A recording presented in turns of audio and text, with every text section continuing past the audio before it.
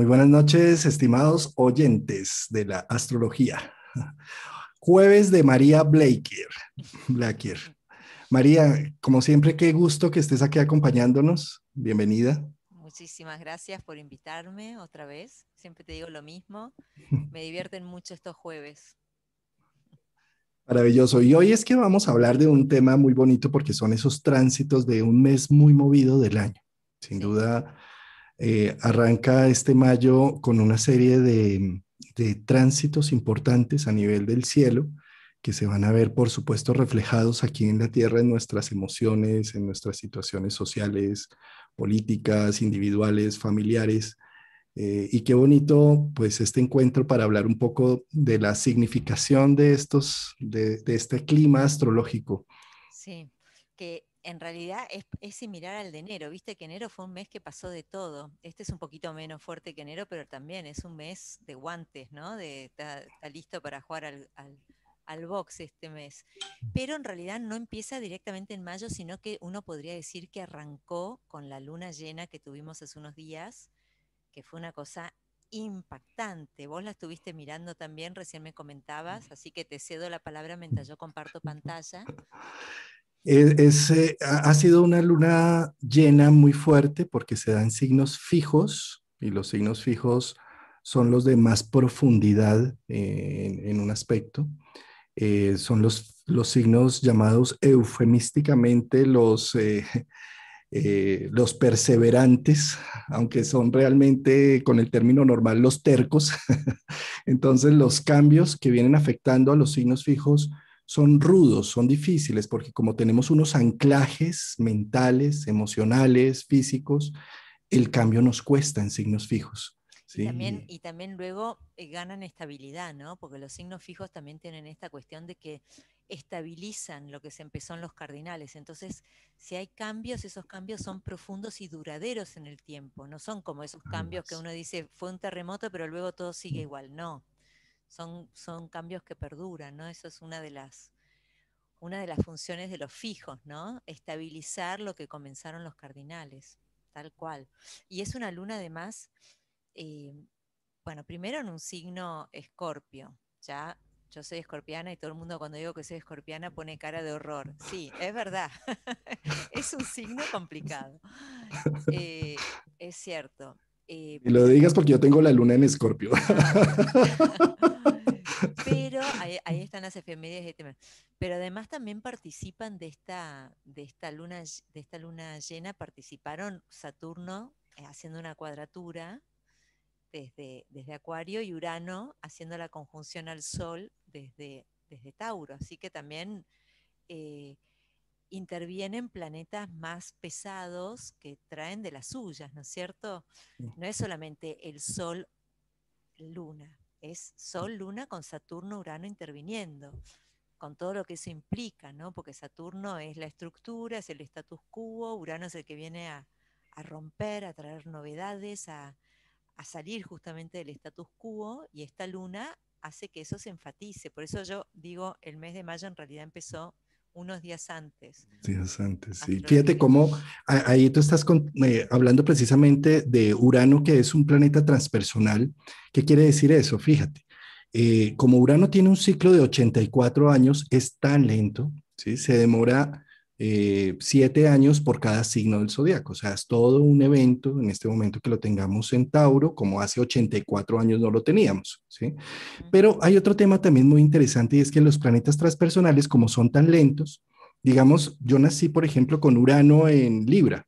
¿Sí? Pues toda la gente, tres años atrás mío y tres años adelante mío, tenían Urano en Libra, ¿sí? Pero cuando tengo un planeta personal individual tocando ese Urano, pues me va a dar una expresión individual frente a esos temas que son sociales y comunitarios. ¿sí? Claro.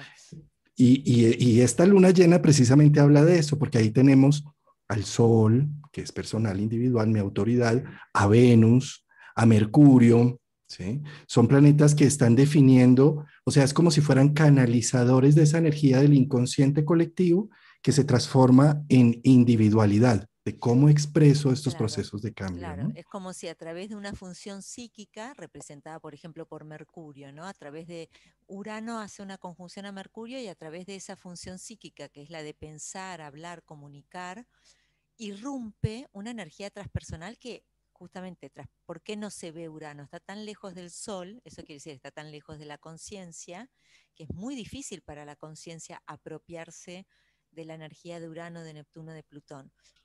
Empezando porque no irradian luz y la astrología es una ciencia que tiene que ver con la luz, por lo tanto están muy lejos de la conciencia. Y a veces, claro, se, eh, lo que vos decías, no toman el simbolismo del planeta personal y irrumpen a través de eso. Por eso la gente, por ejemplo, con Mercurio Urano es tan nerviosa, pero también tiene ideas tan novedosas, pero son personas que no es, es como que sienten que esas ideas le vienen solas. Es como que Urano se expresa a través de su mente, no es que ellos desarrollan esa intuición, son como, hay una cuestión ahí que la energía transpersonal irrumpe, ¿no? Sí. Irrumpe. Y, y, en este caso, digamos que, ¿cómo está irrumpiendo? A nivel de la comunicación, Mercurio, ¿sí? del intercambio, de las negociaciones, también está irrumpiendo a través de las relaciones con Venus, ¿sí? en lo relacional, ¿sí? y también está irrumpiendo, pues, con el sol que representa mi autoridad, lo que soy como individuo. ¿no? Totalmente. Y ya que intervienen estos planetas que no son tan personales, porque Saturno es un planeta social y Urano, como decías vos recién, es un planeta transpersonal, esta luna llena activa esa cuadratura, esa pelea que estamos teniendo hace ya, bueno, eh, unos, unos meses entre Saturno y Urano, y esto puede hacer que aumente el riesgo de contagio a nivel mundial para aquellos países que no tienen todavía inmunidad de rebaño, porque Saturno-Urano es una combinación, eh, cuando se conectan así a través de una cuadratura o una oposición, es, una, es un aspecto que tiene que ver o aparece durante las pandemias. Por ejemplo, apareció en la fiebre amarilla, en la fiebre amarilla, en la de española. También hubo un aspecto duro entre Saturno y Urano, ¿no? Entonces, em, que vuelva, a, que esta luna llena active otra vez a Saturno y Urano, eh, puede, traer problemas en aquellos países, por ejemplo en la Argentina, que no hay vacunas, eh, los casos han explotado. Antes uno escuchaba el amigo del primo de un amigo, ¿no? Ahora es impresionante. Tu íntimo amigo, su tío, eh, amigos míos que han estado internados durante dos semanas. Entonces eso también es parte de esta luna llena. Y también, eh, justo al mismo tiempo que se hizo esta luna llena, Plutón se puso estacionario. Y Plutón creo que ayer o hoy ya se pone retrógrado. Retrógrado, es correcto. Entonces, fíjate todos los tránsitos que tenemos tan importantes, ¿no? La luna llena con Urano, ¿sí? Posteriormente, Plutón se acaba de poner retrógrado, ¿sí? Ahora, ¿qué es un Plutón retrógrado? Digamos que si Plutón mire, mida los cambios y las transformaciones, los duelos a nivel social e individual, ¿sí? Pues al ponerse retrógrado es como si dijera, vamos a dar tregua un poco a estos procesos de cambio, vamos a procesarlos. Vamos a, a, a, ver cómo es que le sacamos un fruto a estos procesos de cambio. En, cierta medida, Plutón retrógrado es un alivio en este instante. ¿Sí? Totalmente. Bueno, también es, por supuesto, tener en cuenta si esta luna o Plutón em, están tocando algún punto de mi carta, ¿no es cierto? Eh, porque eso hace que, bueno, el Plutón retrógrado, si justo yo tengo un Plutón transitando arriba de mi Sol o arriba de mi medio cielo, arriba de mi ascendente, y ahora retrograda, eso alarga el tránsito, muchísimo lo alarga, porque vuelve a pasar por el mismo lugar Plutón, ¿no? O si es mm. sobre una progresión, la progresión se alarga muchísimo. El efecto de la progresión no dice, bueno, durará un año, pero no, con Plutón ahí. Son tres años, más o menos. Se alarga muchísimo. Entonces tiene, para todos los que tengan un, planeta a 26, 27 de Capricornio, o, algo en los, en los en cáncer. O eh, a 26, 27 de Capricornio, de cáncer, o, Libra o, Libra o Aries, son eh, cuando pasa Plutón por, por esos puntos, e, es, como si nos fuera desnudando en esos tres años, mm. donde fuéramos perdiendo una estructura, una fachada, una forma de hacer las cosas. Es todo un, proceso de duelo que si nos resistimos a ese proceso es mucho más doloroso que si fluimos con ese proceso de cambio. Totalmente, ¿sí? Yo siempre digo que es como cambiarse un poco la piel, ¿no? El tema de los tránsitos de Plutón. Yo recuerdo el mío, fue hace 30 años o un poquito más, pero fue muy, muy fuerte el tránsito de Plutón al Sol, sobre todo cuando es a los personales. Así que atención con eso, ¿no? Este Plutón que retrograda, si uno tiene ascendente, planetas personales, de medio cielo, casa 4, los ángulos, ¿no? O planetas en, estos 26, 27 de Capricornio, Cáncer, Aries, Libra. A mí, me, a mí me gusta ver esa analogía de Plutón como lo que les están enseñando a los niños en este momento a nadar, a los bebés. Les dicen, mm. eh, bótense a la piscina y se voltean y se relajan. El cuerpo humano normalmente flota no se hunde, pero uno se hunde es cuando no sabe nadar y empieza a patalear. Bueno, Plutón relajarse no lo veo. Es difícil, pero fíjate que en la medida en que yo pataleo y me ofusco más y le echo la culpa a todo el mundo de lo que me está pasando, termino hundiéndome en un proceso de victimización muy duro y radical. Mientras que en la medida en que digo, bueno, esta es una oportunidad más para ver qué tengo que descubrir y de qué tengo que eh, soltar que tengo que soltar, pues en esa misma medida como que flota un poco más el proceso. Sí, y mm, bueno, vos, vos ya me conocés y sabés que soy yo una estudiosa compulsiva y estaba leyendo, yo siempre estoy leyendo, estudiando y, y leía una astróloga que a mí me gusta mucho, Nina Griffon, y estudio con ella, compartimos un grupo de práctica de horaria, eh, no importa, en una escuela de Londres, y ella, ella comentó en un escrito que hizo que Plutón rige a nivel mundial los países gigantes, porque Plutón es, viste, como muy intenso. Yo eso nunca lo había escuchado. Mm. Entonces me dice, ese, ese Plutón retrógrado podría significar que un país muy grande, no voy a nombrar, pero estaba, por ejemplo, haciendo movimientos hacia, hacia un destino y decide frenar y volver mm. hacia atrás, ¿no? Pensando en que yo, dos países que podrían estar en conflicto, entonces el, el que está representado por ese Plutón, sobre todo si ese Plutón toca algún planeta o a un ángulo de ese país, dice, no, mejor vamos a retroceder un poco, no avancemos más, este camino puede ser de una destrucción muy grande o de consecuencias muy importantes, porque Plutón, viste que no le gustan los grises.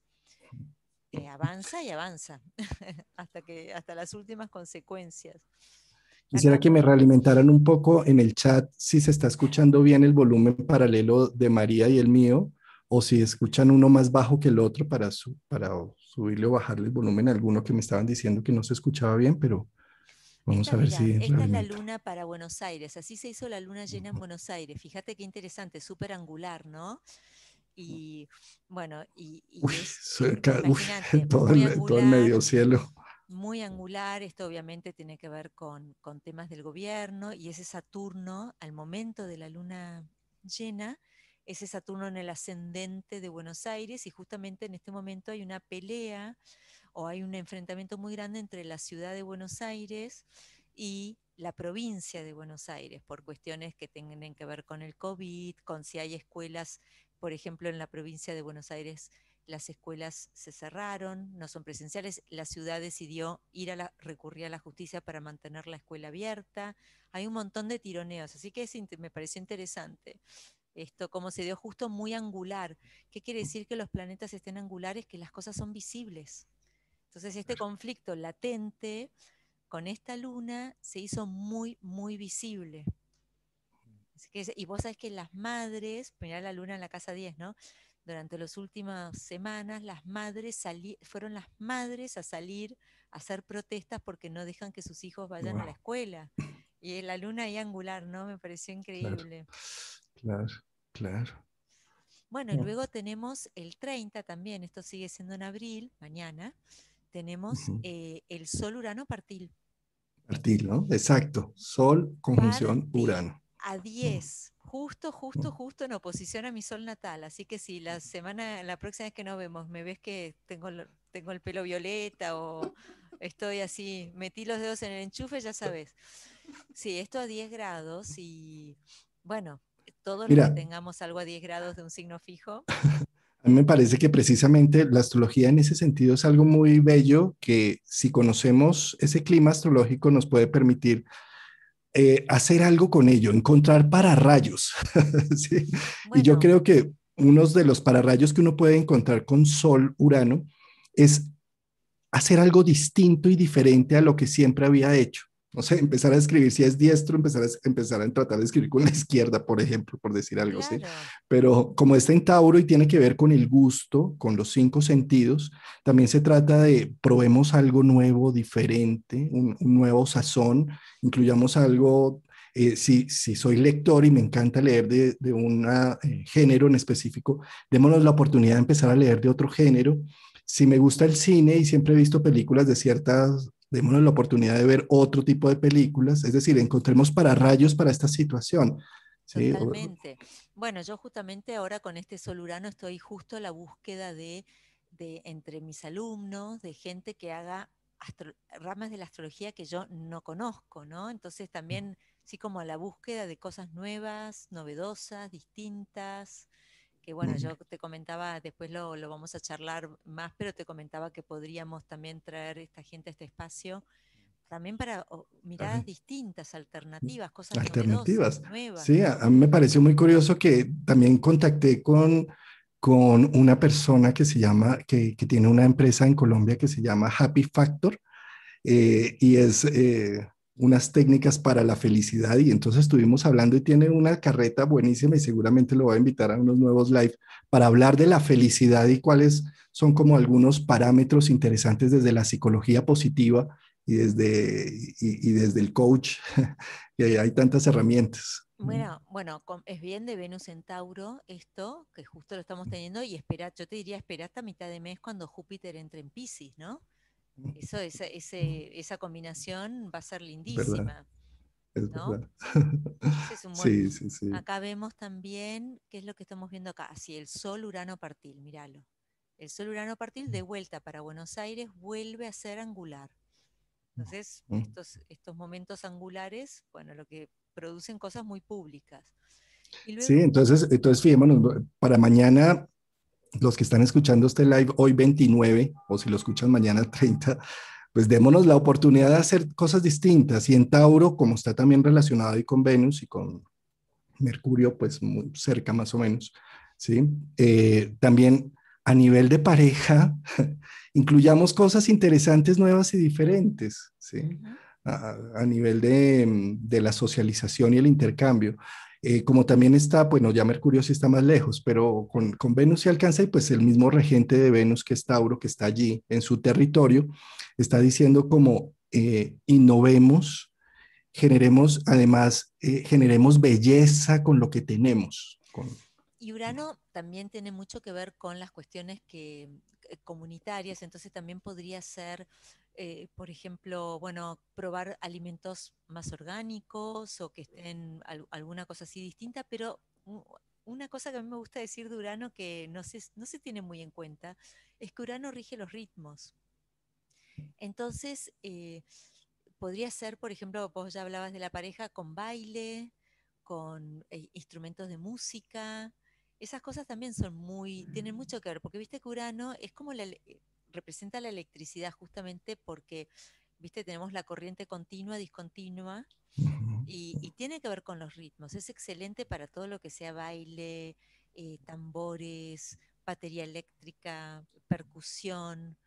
Eh, así que eso también es un, son salidas divertidas. De. Eh, acá están preguntando que si es un aspecto bueno o malo. Eh, los aspectos no son ni buenos ni malos. Los únicos que tenemos esa forma de elegir entre lo bueno y lo malo son los humanos, los, nosotros los humanos. ¿sí? Pero realmente, ¿qué tan bueno puede ser algo? ¿Qué tan malo? ¿Cómo puedes ver tú un vaso medio lleno o medio vacío? ¿sí? Entonces, siempre está la opción de ver cualquier situación. Por ejemplo, con Urano está hablando disruptiva de cambios de mover lo inamovible de Tauro, lo fijo y lo estable de Tauro, podemos decir, uy, no, qué malo es eso, porque me van a mover mi estructura. Pero también podemos decir, qué hermoso momento de tener una apertura y de ver que la vida es mucho más de lo que hasta ahora nos hemos imaginado. Sí, y, una, una conjunción es como tener adentro de un auto dos personas, ¿no? Entonces, viste que adentro del auto pasan cosas cuando uno se va de un viaje así 500 kilómetros manejando. Viste que se da una, una, situación adentro del auto que te pones a hablar de cosas que jamás, muchas veces no tenés el, el momento o el lugar o el espacio o la atención. Y ahí, bueno, no queda otra que tenemos que pasar estos 500 kilómetros juntos y tenemos que o nos matamos o sobrevivimos y aprendemos. Hay planetas que se llevan mejor, ¿no? Ese Venus, Mercurio están muy, muy contentos ahí juntos. Hay planetas que les cuesta un poquito más, sobre todo un Sol en Tauro. Urano no es una energía fácil para un Sol en Tauro. Eh, William Lilly, el astrólogo del siglo XVII que escribe astrología cristiana, decía la peor, la peor combinación hablando de si un aspecto es bueno, dice, la peor combinación es la del Sol con Saturno, porque el Sol y Saturno se odian, decía, porque Saturno es frío, el Sol es caliente, entonces son muy incompatibles. Pero si no es tal cual, como decís vos, depende un poco la conciencia que uno tenga en el lugar donde está parado y también, por supuesto, es muy importante cómo me llevo yo, por ejemplo, con Urano. Si yo soy una persona súper conservadora, y ese Urano me toca a mi Venus, me toca a mi Sol, me toca a mi ascendente, obviamente lo voy a sufrir más que si yo ya soy una persona naturalmente abierta a los cambios, eh, viste como, como es Urano, sin referentes, etcétera. Así que eso también. Bueno, sigamos un poquito. Tenemos. Eh, ahora, una última cosa. Cada vez que hay una conjunción, es una semilla que se arma, ¿sí? Como las lunas nuevas, Sol conjunción luna. Entonces, prácticamente acá estamos frente a un inicio de una semilla de procesos de cambio y transformación de lo inamovible taurino, que lo vamos a ver, por supuesto, su evolución en la medida en que el Sol vaya eh, haciendo las distintas cuadraturas, por ejemplo, cuando el Sol eh, entre en, Leo, ¿sí? vamos a ver ahí ya de qué venía esta semilla, cuando el Sol entre en Escorpio, vamos a ver como el efecto completo de la semilla y cuando esté en Acuario, o sea, ya para enero del otro año, vamos a ver ya como la recogida de esa cosecha. Totalmente. Por supuesto, van a ser siete ciclos, porque como Urano va a estar en Tauro eh, siete años, pues tenemos siete ciclos del Sol pasando por encima de Urano y el, último va a ser el, final, la estocada final, cuando ya Urano cambie de signo a Géminis, ¿no? Exacto. Qué interesante va a ser eso. Pero acá, eso es lo que vos nombrás se llama ciclo sinódico, ¿no? El ciclo sinódico de los planetas que nacen, o su momento de nacimiento es cuando hacen la conjunción partil al Sol. Y luego se empiezan a separar y, bueno, tienen mucha fuerza al principio cuando se separan, ¿no? Así que sí. María, ¿tú puedes hacerme un favor? Eh, puedes eh, dejar de compartir un momento pantalla, darle clic en, el, en donde está el micrófono, en la parte inferior izquierda, hay una flechita hacia arriba em, que dice configuración de audio. Sí. Sí, le, das, le das en configuración de audio, ahí donde dice micrófono, le subes al máximo y le quitas, le quitas el, eh, el, check de ajustar automáticamente el volumen y le subes al máximo Porque el volumen. Estoy muy bajita, dice. ya, parece que ya. A ver. A ver, todavía no pude. Eh, no, pero ya se te escucha mejor. Ah, bueno, bueno, bueno, bárbaro. Perfecto. Ahí ya se me, me, escucha mejor, bárbaro. Creo que te puedes quitar los auriculares porque creo que empezaste a, a, transmitir con el micrófono del computador. A ver, ¿me escuchas? Ah, ¿y me escuchas bien? Sí, un poco con eco, pero bien. Sí, creo que se escucha mejor. Ok, capaz que estaba, estaba en el otro. ¿Ahí me escuchas bien? Sí, ah. perfecto. Bueno, ¿qué más tenemos por acá?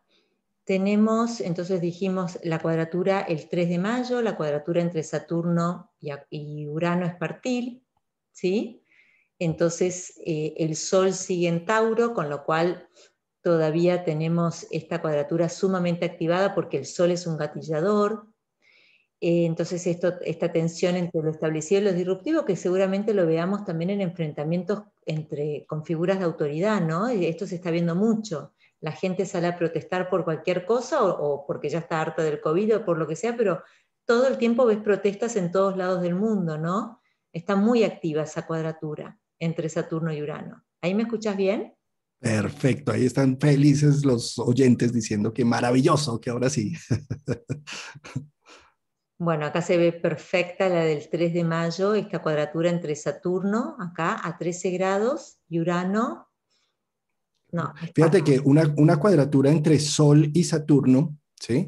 Está hablando precisamente de, ese, mm, de la libertad que quisiera Sol Urano con el choque de trenes que, que está con lo establecido, con, con las normas, con las leyes, con lo que toca, con, con, con los límites, ¿sí? Entonces, esa cuadratura genera una gran tensión.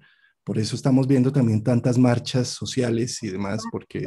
Exacto, totalmente. Y además que es muy uraniano esto de que estas marchas se organizan a través de Twitter, por ejemplo, ¿no? Ya no es que eh, no necesitan los medios establecidos, digamos, ¿no? Para dar una noticia y convocar. La gente se autoconvoca. Y luego vos justo mirá la casualidad que hablabas recién de los ciclos sinódicos, de cuando el planeta hace una conjunción.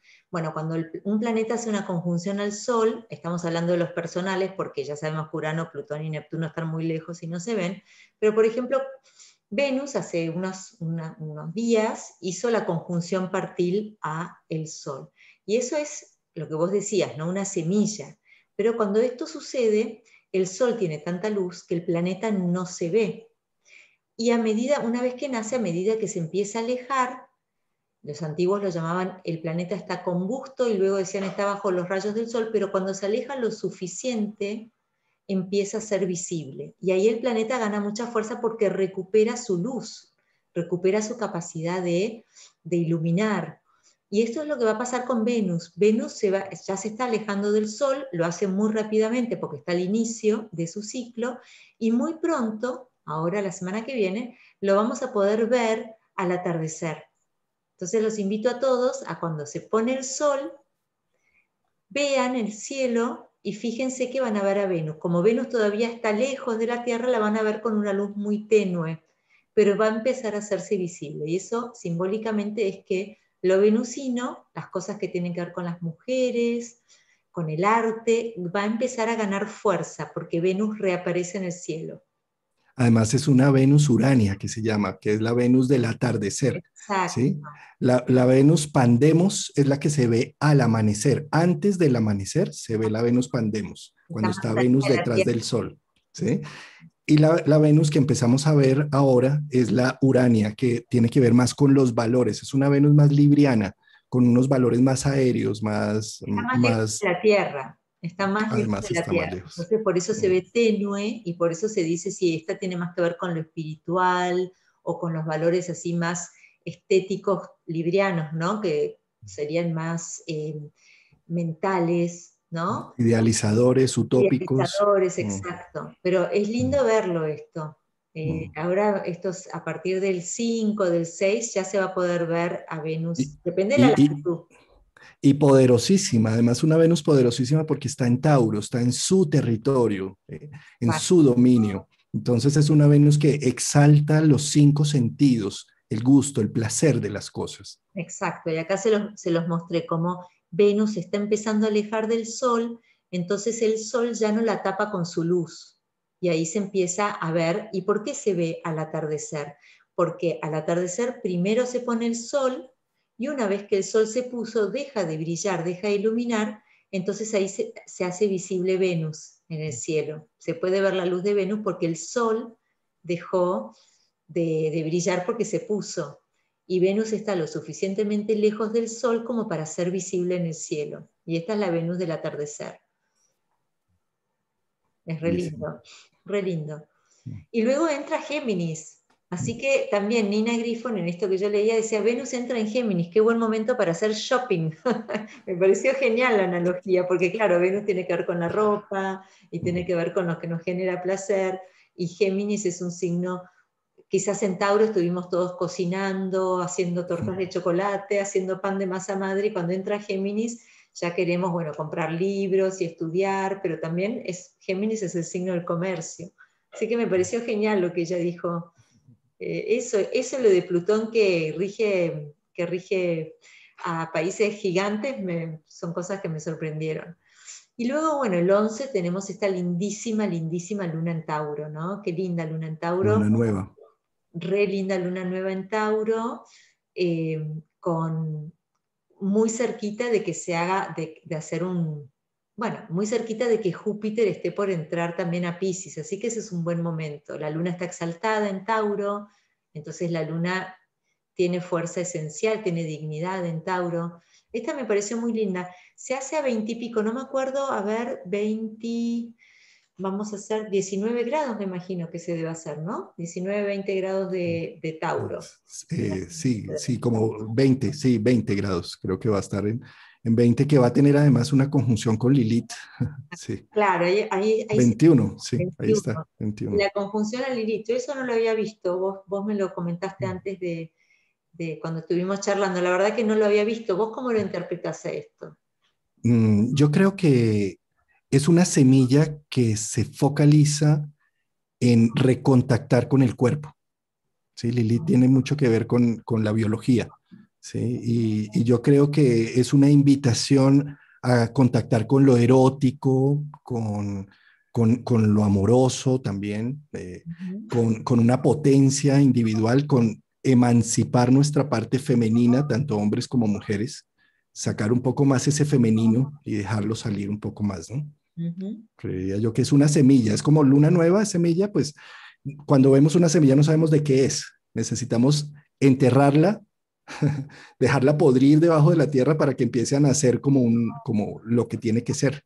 ¿sí? Entonces, un poco las lunas nuevas se trata de, eh, se pone en énfasis eh, lo sensorial eh, y hay que dejarlo crecer a ver para dónde es que va, si es una nueva relación, si es una nueva situación, qué, qué pasa, cómo, cómo se moviliza. Sí, sí, está muy bueno. Y también Lilith, Lilith siempre actúa también como una resistencia, ¿no? Y el hecho de que esté en Tauro hay una cuestión así de volcarse hacia la hiperproductividad, porque Tauro es un signo de tierra, y esa luna nueva que nos interpela para decir, bueno, pero ¿hasta dónde uno es productivo, trabajo, y, hasta dónde nos damos tiempo, esto que decíamos recién, ¿no? De, de, tomarnos nuestros recreos, de disfrutar de las cosas, de tomarnos un buen vino, sí, totalmente. Mm. Bueno, también esto es la garganta, Así que las, cuerdas vocales, la garganta, cualquier persona que tenga eh, eh, este grado afectado por esta luna nueva, quizás debería verse las cuerdas vocales o la tiroides o fijarse si tiene dolor de cuello o si está bruxando, porque Tauro también rige la, mandíbula inferior. Entonces quizás es momento de ir al, al, dentista a hacerse una placa porque estoy bruxando mucho. Cuanto más cerca tengamos planetas o ángulos que en este grado bueno, mayores son los efectos, ¿no? Pero esto también podría ser una, me veo a esa Lilita ahí interviniendo en la luna nueva y la persona bruxando como loca. Claro, claro, claro, claro. Fíjate que eh, eh, están preguntando si es una buena época para arrancar proyectos el día 12 de mayo. Sí, yo, yo pensaría que eh, después de la luna nueva, sí, unos dos días después de la luna nueva. y, y, Sí, eh, sí, dos días, por ejemplo, el 13 de mayo sería además más interesante con un Júpiter en Pisces también entrando. y, totalmente, y con la Luna ya haciendo una conjunción a Venus, al nodo norte, a Mercurio. Ese es un buen momento. otros, otros momentos, cuando se habla de lo lunar, ¿cuándo son los mejores momentos para que sea más fértil el proyecto? Un cuarto creciente también es muy fértil. Claro, ¿sí? claro. Y fijarse que la luna esté fijarse que la luna esté en un signo fuerte, que la luna no esté en escorpio, que es un signo de su caída, o que no esté en Capricornio, donde está exiliada, eso también es importante. Bueno, eso ya es algo más de, de leccional, ¿no? Y también están las horas planetarias, que nosotros charlamos de las horas planetarias el año pasado, entonces también buscar un momento idóneo para iniciar algo. Si quiero que sea fructífero, quizás podría hacer, empezarlo a la hora planetaria de Júpiter y no la de Saturno, por ejemplo, ¿no? Que Saturno va a ser más trabajoso. alguien decía aquí también que, ha visto que con Lilith hay muchas pérdidas, sin duda. O sea, Lilith también muestra unos procesos de duelo y de transformación enormes. ¿Qué sucede? Lo que pasa es que Lilith actuando, cuando le damos permiso de que actúe, nos libera de situaciones.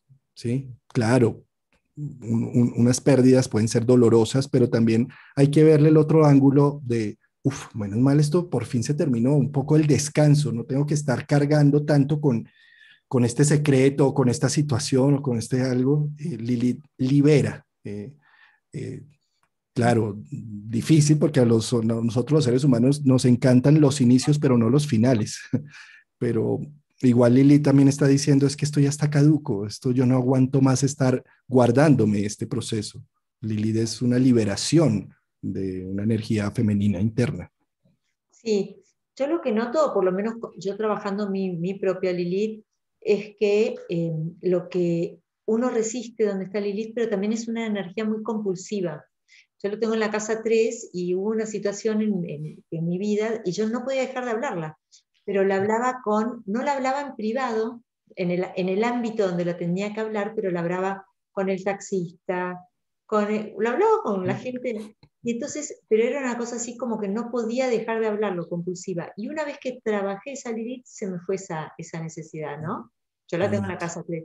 Y entonces eh, hay, una, hay algo que perder, pero también uno se da cuenta que lo está que lo tiene que trabajar cuando se presenta de esa manera compulsiva. Y sobre todo en el lugar quizás equivocado, porque eh, eso también tiene Lilith, ¿no? En vez de ponerlo en el lugar donde corresponde, eh, como, lo reprimo, se expresa en cualquier otro lado. Entonces, de golpe uno va a jugar al tenis y al pobre profesor de tenis lo vuelve loco con algo que pobre hombre no tiene nada que ver. Claro, porque, claro, porque eso es lo que pasa cuando uno reprime, ¿no es cierto? Una energía. Luego se manifiesta de cualquier manera. Es como tener a alguien en, eh, escondido en el sótano. Cada vez que puede va con el palazo a pegar, ¿no? Porque quiere salir. Bueno. Y, y, eso sucede, eh, eh, digamos, ya mirándolo en nuestros tránsitos, pues por donde está pasando Lilith. ¿sí? Lilith si toca algún punto de tu carta, algún ángulo o algún planeta personal, pues va a empezar a buscar esas liberaciones. Y ahí es que estar es atentos, así no sepamos astrología, pues empecemos a ver dónde, dónde está pasando algo así, ¿sí? Y, y empecemos a elaborarlo un poco. ¿Yo por qué le tengo que contar al taxista esto? ¿Qué me está pasando? ¿Dónde está este rollo? ¿A quién es el que le tengo que decir lo que le tengo que decir? ¿Sí? Como Exacto. Bueno, luego el 15 de mayo, el día lindísimo que Júpiter entra a Pisces, va a estar unos meses allí antes de retrogradar otra vez, así que entra su propio signo, el signo donde tiene dignidad por domicilio. Esto es una, hace tiempo, ¿no? Porque ya el año pasado lo tuvimos un desastre en su signo de caída, desde Sagitario, que no lo teníamos digno, y nos va a dar un atisbo del 2022, ¿no? Porque siempre es bueno que el benéfico, el planeta que tiene la función... Un aperitivo, una, entradita. Seguro, yo creo que esto va a tener que ver también con la inmunidad de rebaño que se está alcanzando en muchos lugares del mundo, cómo va a haber lugares que van a abrirse otra vez al turismo, se va a poder volver a viajar. Obviamente no todos los países, ¿no? Pero, pero los países seguramente más jupiterianos van a estar muy muy bien afectados por, por esto. O sea, viene otra, y va a ser la última vez, va a estar ahora en Pisces, vuelve a Acuario, luego en el 22 otra vez va a estar en Pisces, pero luego no va a estar en, su signo, en un signo fuerte para él durante muchos años, hasta que llegue a Cáncer, donde va a estar exaltado. Así que hay que probarlo y disfrutarlo y lo vamos a poder disfrutar más el año que viene. Por de aquí hasta junio 29 creo que está Júpiter en Pisces, el, desde el 13, 14 hasta 29 de junio, va a estar en Pisces, va a retrogradar, por supuesto, a Acuario. Eh, también delicioso para las personas que tienen planetas a finales de Acuario porque les está haciendo doble paso Júpiter por allí. Eh, eh, pero en diciembre arranca la temporada de Júpiter en, en Pisces. Y yo creo que ese es un año precisamente de redención, ¿no? Un poco Pisces habla de esa redención de lo social y seguramente ese proceso de Júpiter allí va a ser una redención a nivel social, comunitario, político, en muchos sentidos, ¿no? Eh, va a tratar de, de reparar. Está muy bueno. Luego el Sol ingresa a Géminis, así que eso eh, seguramente comercio, estudiar, eh, comunicar viajes cortos, me parece que van a haber menos restricciones. En este momento nosotros tenemos un Sol en Tauro con Urano que quiere libertad, pero haciendo una cuadratura a Saturno. Quiero, pero no me dejan. Cuando el Sol entra, entra a Géminis, esa cuadratura entre Urano y Saturno deja de estar gatillada por el Sol. Sigue estando, pero el Sol ya se corre de, porque Marte y el Sol actúan como activadores muy fuertes. Entonces, bueno, esto me parece que es una buena noticia en términos de posibilidad de viajes, de mayor libertad, de comunicación, em, de ideas nuevas, etc. Y Saturno, el 23, se pone retrógrado, estaciona y se pone retrógrado. Así que eso también me parece que es interesantísimo. ¿Por qué se pone retrógrado Saturno? Esto es algo que a mí también, vos justo hoy hablabas de los ciclos sinódicos, y Saturno nosotros tuvimos a principio de año, hizo la conjunción al Sol, inició su ciclo sinódico, y ahora vemos cómo está a 120 grados del Sol.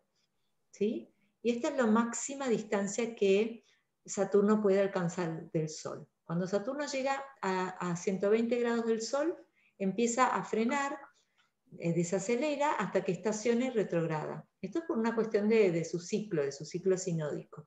Así que bueno, esto está mucho más lento ahora. Eh, seguramente las personas que tengan planetas en este grado, el grado 13 de Acuario o 13 de Leo, no sé vos tu ascendente cuánto está, o 13 de, de Sí, está como por ahí, en Leo, sí. Bueno, entonces ahí cuestiones que tengan que ver con contratos, porque si vos tenés el ascendente de esos grados de Leo, Saturno te está pasando por la casa 7, entonces contratos, cuestiones de pareja, cuestiones legales, quizás que quedaron... Definir temas de pareja. Exacto. Entonces podría ser, por ejemplo, eh, Saturno está muy fuerte porque además está en un muy buen signo, en Acuario, entonces podría ser establecerse más con la pareja, eh, tener una estructura más sólida, eh, ¿no? un compromiso más profundo, que quizás era algo que se había hablado pero que todavía no se había llevado a cabo. Entonces esto es, es una posibilidad de retornar a eso. Así que eso me pareció que mm, Qué bonito. interesante. Mm. Y luego tenemos el famoso eclipse. El eclipse. Casi nada. Casi nada el eclipse que tenemos, eclipse de luna. El eclipse de luna, que quiere decir que es una luna llena que está eh, cerca de los nodos, o sea que el Sol y la Luna tienen la misma latitud. La Luna está muy cerquita de la eclíptica. Así que bien, ahí estamos con este eclipse que hay que ver si alguien tiene algo a 5 grados de Sagitario. Yo personalmente tengo el medio cielo. o de Géminis o de Sagitario, sí, o de, o de, mm, bueno, todos los mutables, o de Virgo o de Pisces, sí. Aquí lo marqué, eclipse. Aquí lo marqué para para Buenos Aires también, y es esto, no es una luna nueva, es una luna llena que tiene la particularidad de estar muy cerquita de los nodos. Muy cerca de los nodos, sí, porque fíjate que eh, yo creo que los eclipses entre se dan hasta 15 grados con el nodo, ¿no? Con el, sí, pero en este momento vamos a tener estos eclipses muy cerca al eje nodal. Eh, esto va a hacer que en algunos países eh, de acá de Latinoamérica también podamos ver la luna roja. ¿sí? Eh, la luna, el eclipse de luna es un eclipse que está mostrando unos niveles de practicidad, ¿sí? Eh, ¿En qué temas? Acá está diciendo, como es un eclipse en Sagitario, Géminis, está diciendo hay que terminar con viejas lealtades y dogmas ancestrales para darle la bienvenida a, cosas más de hoy, de la hora. De, ¿sí? Esto es como un cierre de, de moralidades que ya no sirven. Es como si le quitaran al caballito las orejeras que llaman acá en Colombia para que ande solamente así, ¿no? El nodo sur ahí encima de la luna en Sagitario está diciendo, mira, el mundo es más grande, o sea, ¿por qué te empeñas en tener esta cultura moral o esta, mm, estos dogmas o estas lealtades familiares? Es momento de abrir un poco el panorama. Sí, sí, y también podría haber eh, que se planteen temas eh, sobre todo que tengan que ver con cuestiones de la religión o cuestiones con la ciencia, porque viste que Sagitario y Géminis son dos signos que se han llevado a las patadas por este tema de ciencia versus religión, ¿no? Entonces podrían estar activándose cosas así. Eh, el nodo sur está transitando por Sagitario y el nodo norte por Géminis, y hemos visto en los este, este últimos, los últimos meses, me parece que están cobrando mucho más fuerza los conocimientos geminianos que las cuestiones que tengan que ver con lo religioso, ¿no? Parecería, parecería que, hay más un énfasis puesto en Géminis que en Sagitario. Y acá yo... Me dicen acá, tengo a Luna y Venus a los 5 grados, ¿sobreviviré? claro. si mira el ciclo metónico de este eclipse, sería interesante ver qué pasó hace 18 meses, porque esto hace 18 meses se hizo una luna nueva en ese grado, no necesariamente un eclipse, pero sí una luna nueva.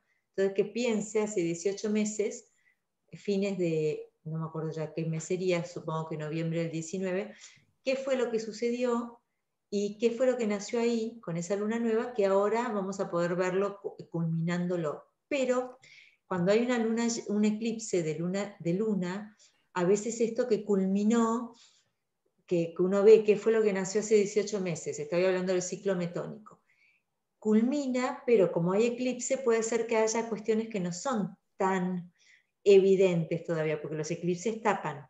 Viste que la luna llena uno que dice, uy, se ve perfecto, no, pero con los eclipses hay siempre algo escondido. y que sale a la luz en pleno eclipse, es decir, los eclipses lo que, lo que ponen es en evidencia unos procesos que nos permiten eh, tomar acción frente a unos hechos. ¿sí? Por ejemplo, eh, se cumplen 50 años del descubrimiento de los hechos científicos de Albert Einstein de su teoría de la relatividad gracias a un eclipse, porque ya se ocultó el Sol y pudo tomar la medición de la estrella de atrás y pudo demostrar que el espacio-tiempo se curva. De la misma manera, en los eclipses, estemos atentos si necesitamos tomar una decisión de pareja o de trabajo o de algo, digámosle al eclipse ocho días antes, muéstrame a ver de qué va esto. Eh, necesito entender. Y ahí seguramente aparece algo. Totalmente.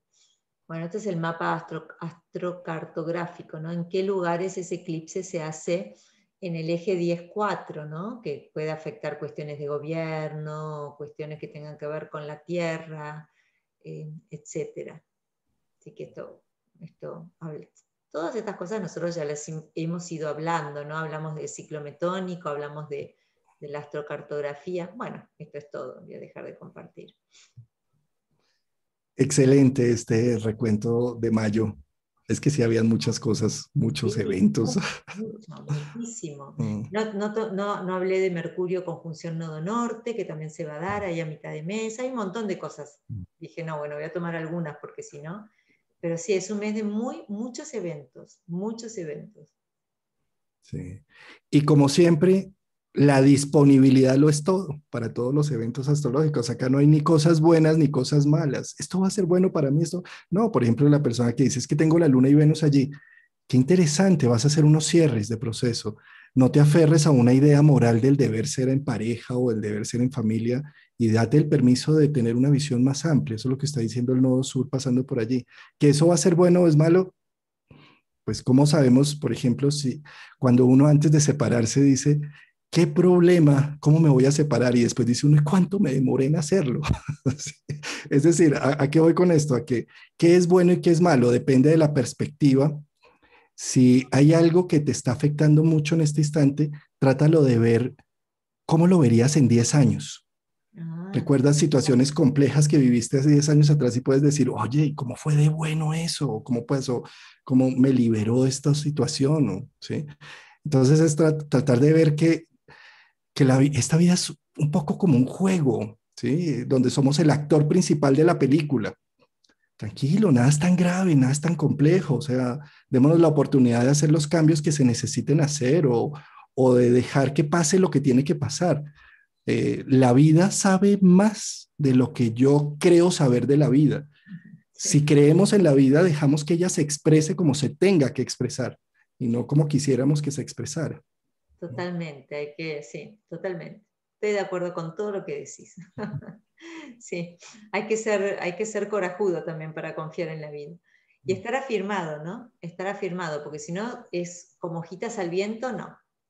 Eh, sino más bien firmes como guerrero frente a la vida, pero también aceptando que, bueno, eso se ve mucho en la astrología, que hay algo que nos excede y que tiene una inteligencia superior a la nuestra, claramente. Hay un orden. Claramente.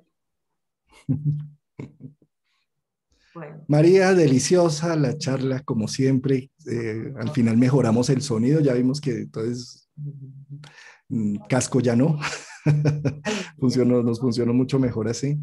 Y bueno, muchas gracias María, nos vemos en 15 días. Nos vemos con Príapo. En 15 Vamos a hablar de Príapo. Vamos a seguir con Príapo. Príapo, que es el punto opuesto a la Lilith, es decir, el punto más cercano de la luna a la Tierra. Mm. Y un poquito más de Lilith, que mucha gente escribió comentarios diciendo, ay, pero Lilith en las casas, ay, pero bueno, vamos a, vamos a darle esa info. Bueno, muy bien. Muchas gracias. Chao, nos vemos. Gracias, nos vemos. Hasta luego.